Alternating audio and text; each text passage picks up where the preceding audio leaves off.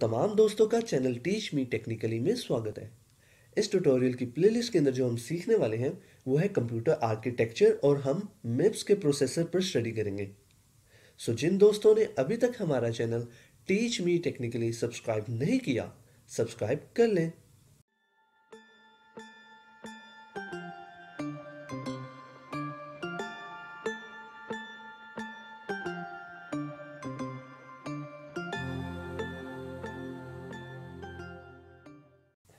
So let's start. MIPS stands for Microcomputer Without Interlocked Pipeline Stages. जिस तरह से हमारे पास आपने प्रोसेसर का नाम सुना होगा इंटेल इसी तरह हमारे पास एक प्रोसेसर है जो कि मिप्स है, ठीक है ये प्रोसेसर बहुत से आर्किटेक्चर्स में यूज़ किया गया था और बहुत सी कंपनीज़ इससे इंस्पायर्ड हुई थी और उन्होंने मिप्स के जो प्रोसेसर्स हैं, उसका जो आर्किटेक्चर है, उसको अपनी मशीन्स के अंदर यूज़ किया था जिसकी एक एग्जांपल होगी। हमारे पास एन कंपनी है, ये हमारे पास एग्जांपल है। An silicon graphics Sony company जो है, वो मिप्स के आर्किटेक्चर को यूज़ कर चुकी है। इसके अलावा मैं आपको बताता चलूँ कि गेम कंसोल्स हैं जो हमारे for example PlayStation PlayStation two इस सब के अंदर जो आर्किटेक्चर और जो प्रोसेसर यूज़ किया गया था, वो मिप्स का था। ठीक है? सो कंप्यूटर आर्किटेक्चर के अंदर जो हम मिप्स का आर्किटेक्चर पढ़ रहे हैं, इसके अंदर जो हमारा गोल होगा वो ये कि किस तरह से हमने अपनी परफॉर्मेंस को मैक्सिमाइज करना है। अपनी जो कॉस्ट पड़ रही है हमें प्रोसेसर बनाने पर, उसको मिनिमाइज करना है और रिड्यूस करना है अपने टाइम को, ठीक है? सो बेसिकली ये हमारे पास रजिस्टर्स का टेबल है और मिप्स का आर्किटेक्चर हमें total thirty two registers provide करता है, जिसके अंदर से रजिस्टर वन जो है वो असेंबलर के लिए रिजर्व्ड है रजिस्टर ट्वेंटी सिक्स और ट्वेंटी सेवन वो रिज़र्व है ऑपरेटिंग सिस्टम के लिए। इस टेबल की तमाम एंट्रीज को हम आने वाली वीडियोस में ज़रूरत पड़ने पर डिस्कस करेंगे।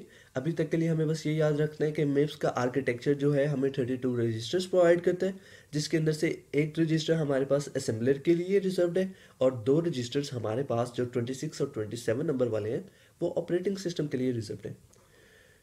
सो so, यहाँ तक हमें पता चल गया है कि हमारे पास जो मेप्स के अंदर रजिस्टर होते हैं वो होते हैं थर्टी तो अगर हमने कोई भी ऑपरेशन परफॉर्म करना है तो हम क्या करेंगे? हम ये करेंगे कि अपनी वैल्यू को रजिस्टर के अंदर सेव करवाएँगे और सेव करने के बाद ये करेंगे कि उन रजिस्टर्स पर हम कोई ऑपरेशन परफॉर्म करेंगे और एक रिज़ल्ट कंप्यूट करके हम फॉर एग्जांपल एक रजिस्टर के अंदर सेव कर लेते हैं ठीक है? सो so, हमने जो तमाम काम करना है वो रजिस्टर्स के ऊपर करना है ठीक है? लेकिन आपके जो प्रोग्राम्स होते हैं उसके अंदर तो बहुत ज़्यादा रजिस्टर्स होते हैं आपके पास ठीक है? तो उस केस में आप क्या करेंगे? सो so, उस केस के अंदर ये होता है कि हमने जो वेरिएबल्स डिक्लेयर किए होते हैं हम उनकी वैल्यूज़ को अपने रजिस्टर्स के अंदर सेव कर लेते हैं जितने रजिस्टर्स के अंदर आ सकती हैं। और जो वैल्यूज़ हमारे रजिस्टर्स में नहीं आ सकती मतलब क्योंकि हमने वेरिएबल्स तो बहुत ज़्यादा डिक्लेयर किए हैं। फॉर एग्ज़ाम्पल हमने एक अरे डिक्लेयर की हुई है थाउज़ेंड साइज़ की।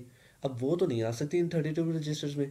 तो मैं क्या कहता हूँ कि कुछ जो हमारे वेरिएबल्स हैं या अरे है, उसकी वैल्यूज़ को मैं रजिस्टर्स के अंदर लोड कर लेता हूँ और बाकी जो वैल्यूज़ हैं वेरिएबल्स की या अरे की, वो मैं मेमोरी के अंदर सेव कर लेता हूँ। सो जब मुझे उसकी ज़रूरत पड़ेगी उस चीज़ को एक्सेस करने की तो मैं क्या करूँगा? मैं उसको मेमोरी के अंदर से लोड कर लूँगा, अपने रजिस्टर के अंदर रख लूँगा और उस वक्त उस पर जो भी मैंने ऑपरेशन परफॉर्म करना है वो करूँगा।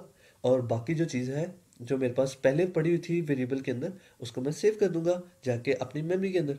सो इस तरह मैं अपनी मेमोरी को और रजिस्टर को यूज़ करूँगा जब मेरे पास बहुत ज़्यादा वेरिएबल्स मुझे यूज़ करने हैं।